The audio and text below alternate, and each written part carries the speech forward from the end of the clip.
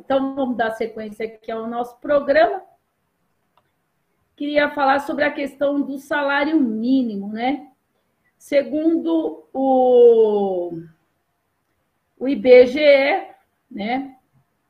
O salário, o salário mínimo ideal em janeiro, né? Segundo o IBGE, não, segundo o DIES, em janeiro, o salário mínimo deveria ter sido de R$ 5.997,14. Né? Então, esse seria a deveria ser, né? Então, a gente sabe que o Bolsonaro acabou com a política do, da valorização do salário mínimo, que deu uma melhorada no governo Lula e no governo Dilma, mas a gente vê que o salário mínimo está muito aquém das, né, do que deveria ser, seria de quase 6 mil. A gente defende um salário mínimo vital, né, de 7 mil reais. É preciso né, que o trabalhador, que se 5 mil, quase 6, seria a cesta básica e outras coisas, mas o trabalhador né, deveria ter uma condição melhor né, para manter a sua casa, a sua família.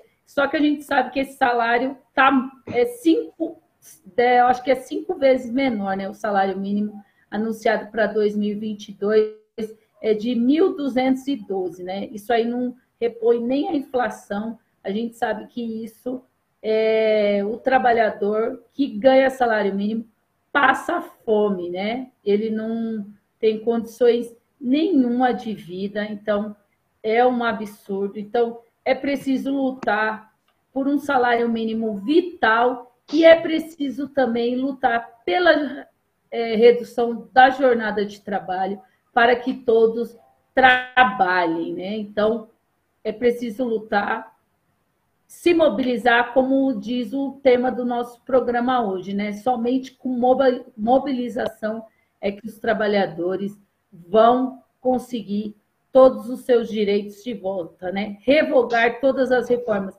reforma trabalhista, reforma sindical, reforma administrativa, né? reforma previdenciária, todos os tipos de reforma que foi feito por esse governo golpista, né? Do Temer e do Jair Bolsonaro.